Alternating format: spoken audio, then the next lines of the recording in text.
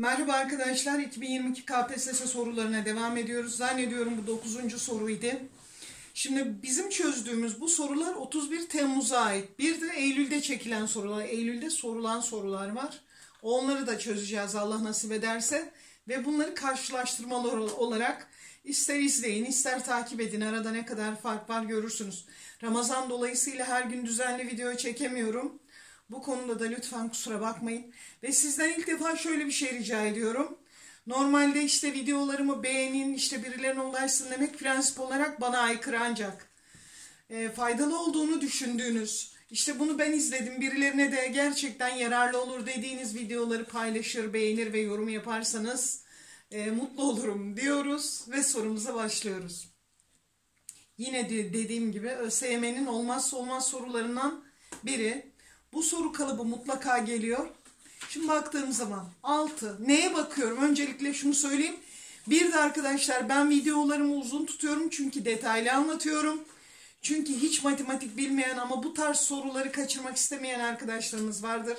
Gerçekten dikkatli dinlerseniz bu tarz soruları kaçırmazsınız. Ama biraz üzerine çalışmak, düşünmek lazım.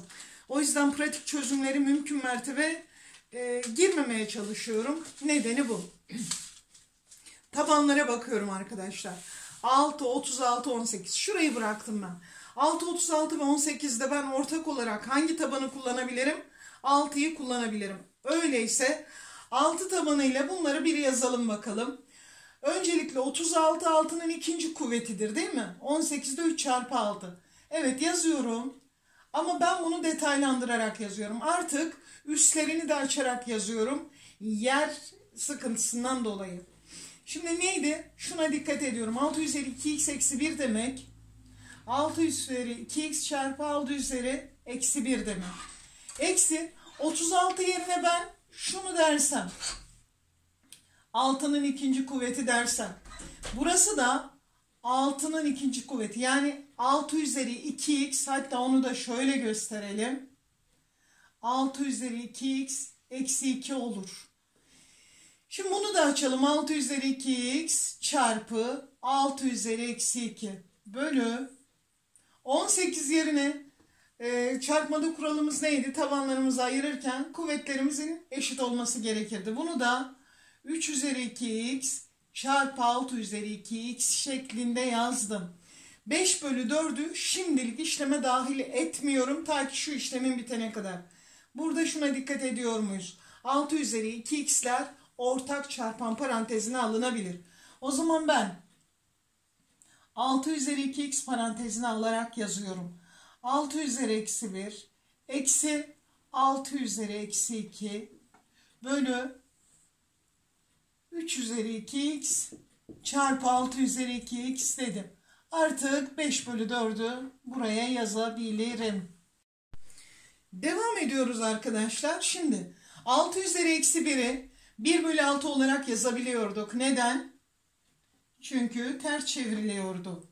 Eksi 1 bölü bakın bu kez 1 bölü 6'nın ikinci kuvveti neye eşit? 36 bölü 3 üzeri 2x eşittir 5 bölü 4 dedik ve işlemimize devam ediyoruz. Burada eşitlemem gereken bir payda var. Nedir o? 6. Buraya dokunmuyorum. 6 kere 1 6. Eksi 1 bölü 36 bölü 3 üzeri 2x eşittir 5 bölü 4 diyoruz. Şimdi buraya arkadaşlar 5 dedim. 5 bölü 36 artık şu bölmeyi yana alıyorum. 3 üzeri 2x eşittir 5 bölü 4'e. Şuradan gene kelebek yöntemiyle bölme işlemimizi yapalım. 5 bölü 3 üzeri 2x çarpı 36 eşittir 5 bölü 4. Burada şu sadeleştirmeyi görebiliyor muyuz? 36 ile 4 sadeleşir ve burası 9 olur. Peki ben 9'u 3'ün ikinci kuvveti olarak yazabilir miyim? Yazarım. Peki devam edelim o zaman bu yeni durumda. 5 bölü 3 üzeri 2x artık şurada 9 yerine ne yazıyorum? 3 üzeri 2 eşittir 5.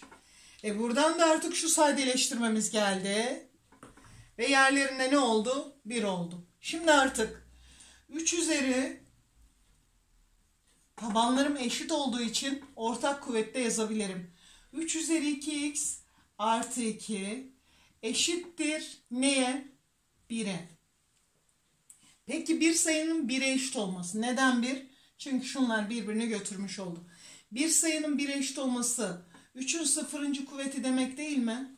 Evet. Peki bu durumda tabanlarım eşit olduğu için kuvvetlerimin de eşit olması lazım. 2x artı 2 eşittir sıfırdan. 2 eşitliğin diğer tarafına gönderdiğim zaman 2x eşittir eksi 2'den x eşittir eksi 1 olur.